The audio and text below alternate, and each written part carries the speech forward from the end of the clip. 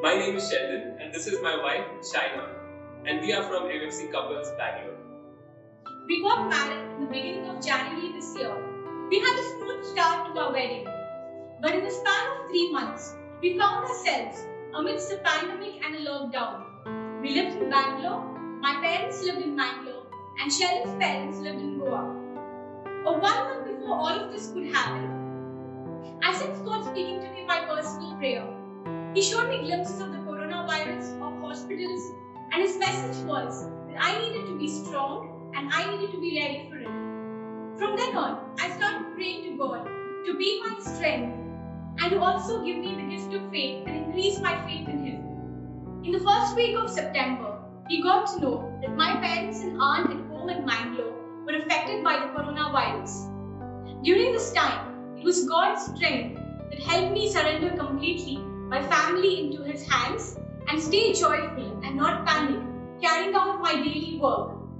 With time, we started recovering and things started getting better.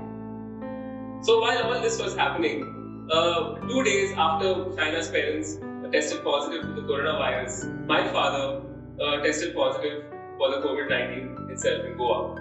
Uh, Shaina's parents eventually recovered, but uh, towards the mid-September, my father's oxygen levels began to deteriorate. However, he kept attending the MFC meetings online. He was still serving with the youth uh, back home in Goa. And uh, but but on doctor's advice, towards the end of September, he was hospitalized. And uh, but we were full of faith. The, we had the backing of the community in prayers, and uh, life went on. But Brendan and I moved to Goa, and we took care of him in the hospital. On 1st of October 2020, he breathed his last. I was devastated. For me, my father was everything. He was a provider, he was a protector, he was everything a Christian husband and father is meant to be, as described in St. Paul's letters. He went out of his way to do things for us as a family and for many other people who are known to him. While I do not understand God's timing, I am convinced that He was walking with us through this time. His ways are way beyond our ways.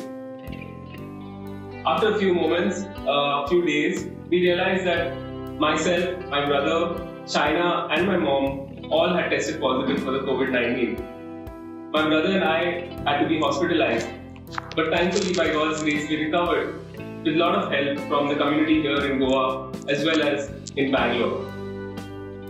I'm convinced that God was walking through us and showing us His ways through this time. Throughout these difficult times, it was a relationship that I had with God, His strength and presence, and the gift of faith that helped me surrender every person and every situation to His will. As stormy as this phase was, perhaps the worst I've ever seen in my life, I began to see God revealing Himself to me as a Father.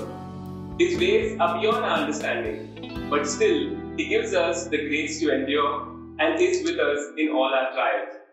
Praise God.